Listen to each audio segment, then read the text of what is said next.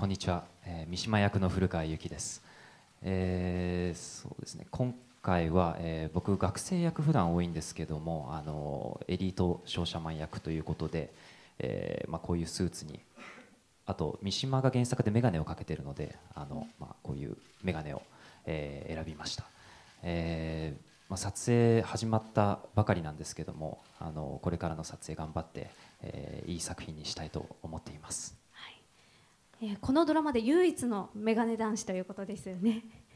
そうですね、はい、古川さん日本だけではなく中国や台台湾などアジア圏でも活躍されてますよね。どうですか？日本とやっぱり違いますか？その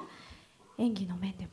そうですね。はい。あの、まあ、中国とか台湾でたくさんお仕事をさせていただくのであの英語をしゃべる機会も、えー、はい、とても多いんですが、えっと、今回は僕英語を学ぶ側のえー、役柄ですので、あの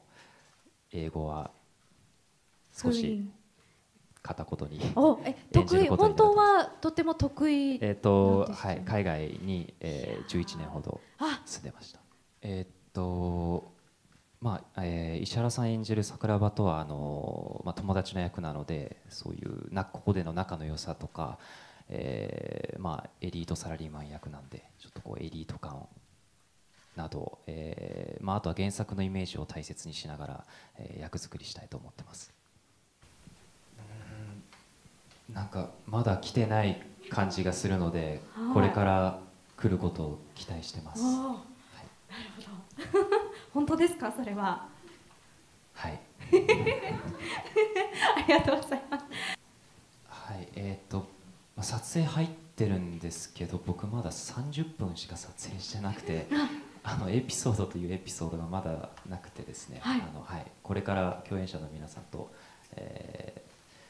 ー、仲良く撮影して話せるエピソードができればいいなと思います、はい、皆さんこんにちは。古川祐希です、